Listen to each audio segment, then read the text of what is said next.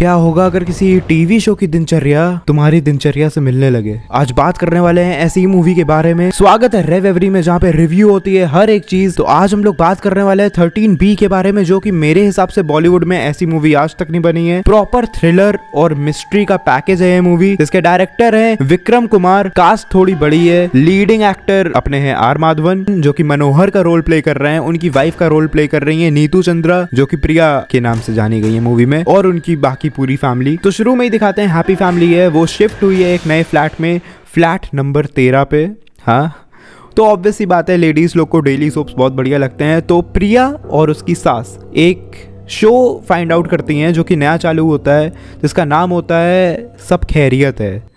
Channel number तेरह पे। हम्म। Show तो रोज देखती हैं, लेकिन ये चीज़ रियलाइज़ नहीं करती हैं कि जो शो पे हो रहा होता है, वही उनकी लाइफ पे भी हो रहा होता है। जी हाँ सही सुना। जो कि काफ़ी क्रीपी है। जैसे कि दूध फट जाना, मनोहर के बड़े भाई का प्रमोशन हो जाना, ये सब बहुत छोटे एग्ज़ाम्पल है। मैं एक्सट्रीम पे नहीं जा रहा, क्योंकि मैं एक्सपीरियंस स्पॉइल नहीं करना चाहता हूँ तुम्हारा। और मूवी तुमको इसीलिए देखनी है कि जो शो पे चल रहा है और यहाँ पे चल रहा है, इनकी रियल लाइफ पे सेम चल रहा है। लेकिन क्यों चल रहा है? क्या मिस्ट्री है? एक बार ये मूवी ज़रूर देखना।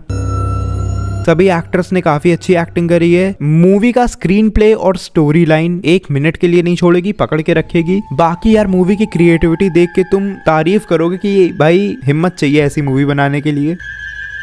नेगेटिव में आज सच मुझे कुछ याद नहीं आ रहा है बट हाँ ट्विस्ट और हो सकते थे टर्न्स और हो सकते थे, लेकिन ये एड ऑन है नेगेटिव एज सच मुझे लग नहीं रहे हैं।